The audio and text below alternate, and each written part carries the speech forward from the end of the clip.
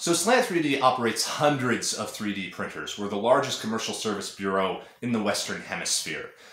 But how do we make all those machines work together? That's what we're going to talk about a little bit today.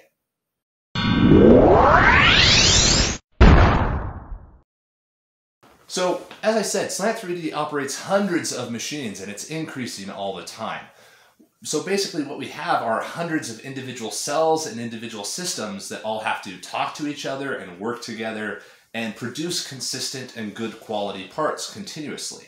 So how do we actually do that? Well, the main thing is that all of our machines are the same.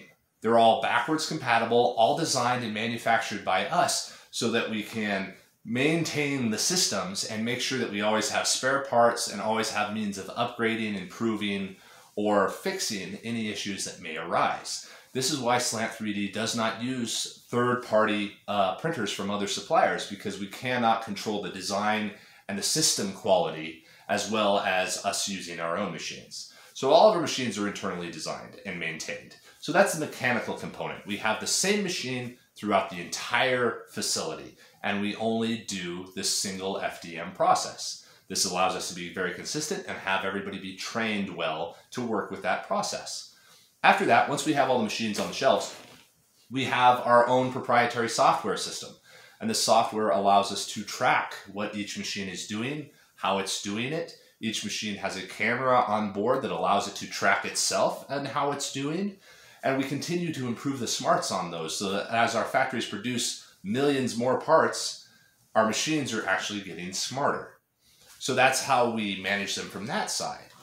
And then overall, just to make sure that all of our machines are always operating consistently, we maintain a very stringent supply chain and we control all of the inputs to the system so that we don't have a garbage in, garbage out situation.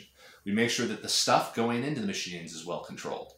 And then we very control we control and maintain certain recipes about how we operate the machines and how we slice and prepare certain parts so that's how we prepare the parts that are going in and the, the supply chain behind it.